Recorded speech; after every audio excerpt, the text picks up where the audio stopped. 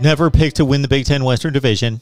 Hardly ever selected as a preseason top 25 team. The Northwestern Wildcats, led by Pat Fitzgerald, continue undaunted. Winners of the Big Ten Western Division, yes, in two of the last three seasons. And of course, preseason unranked last year, finishing in the top 10 in the nation at 7 and 2. Northwestern, once again, picked lower in the standings and also unranked heading into 2021. Welcome to the Voice of College Football as we break all the teams down in every major conference. And we have stopped in Evanston, Illinois for our look at the Northwestern Wildcats.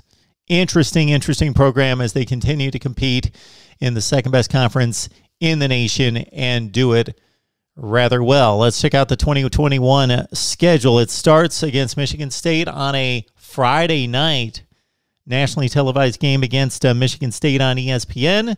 Of course, Michigan State, despite the great season by the Wildcats last year, finishing in the top 10, Michigan State knocked off Northwestern that uh, dropped them from the ranks of the unbeaten. Indiana State's the next game, then at Duke, and then Ohio. Now, I, I, I group those games together for a reason. First of all, Duke um, has defeated Northwestern the last two times that the Wildcats have played the Blue Devils. They have a bit of a series running between Duke and Northwestern. They've thrown in Stanford and Vandy, and between the four of those Brainiac schools out of Power Five conferences, they uh, play each other quite often. And Duke, even when they've got an inferior team, has uh, had Northwestern's numbers. So the Wildcats will travel to Duke. Don't expect that to be a mauling by the Wildcats, despite a better program, better team on the field.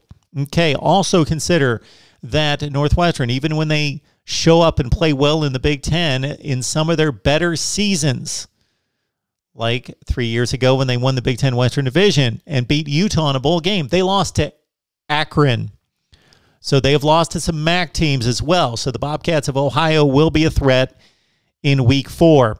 Then they dive back into Big Ten play to take on Nebraska. Bye week, Rutgers at Michigan, Minnesota, Iowa, Wisconsin. Whoa, whoa, whoa, whoa, whoa. That's a tough stretch right there. On the road at Michigan, I know people are just discounting the Wolverines after a 2 and 4 season, but they got top 15 talent and take out the 6 games they've been a top 15 team under Jim Harbaugh since he stepped on campus. At Michigan, Minnesota, Iowa, Wisconsin on the road. If Northwestern can navigate that at 2 and 2, they still may have a fighting chance in the Western Division. Purdue at home at Illinois. Of course, the formula to win the Big Ten Western Division for a third time in four seasons would be at least splitting against Iowa and Wisconsin and then running the table against everybody else. They can't lose more than two. They will, however, fall short this year. The Wildcats at five and four in the Big Ten, eight and four overall. So, despite their inability to get through a non-conference slate unscathed in the past, they're going to do it this year. Eight and four, five and four in the Big Ten. Nice little finish for Northwestern here in 2021. Check out our work on Patreon. This is what you're going to get this season. My weekly picks, that should be good enough. But you also get Steve Merrill's Lock of the Week from Pro Sports Info and Wager Talk. And also get this 15 of your favorite media members and analysts that come on here on a regular basis. They're going to have their picks available to you on Patreon as well each week of the college football season. Just go to Patreon, search Mark Rogers TV, and you'll find us there. We'll be back very soon with another prediction right here at the Voice of College Football.